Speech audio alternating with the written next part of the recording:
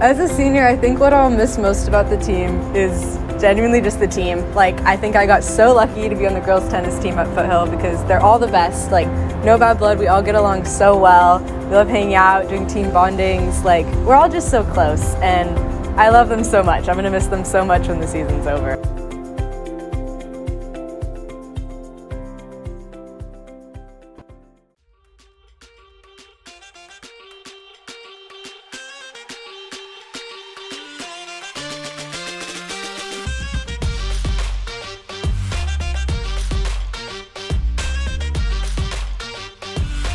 Honestly, I think I played really well today. Me and my partner Aditi, we both played so well. I think we were just on. I feel like the senior night, like I had friends and family coming to watch me, so I was like hyped up and we, we just did really good.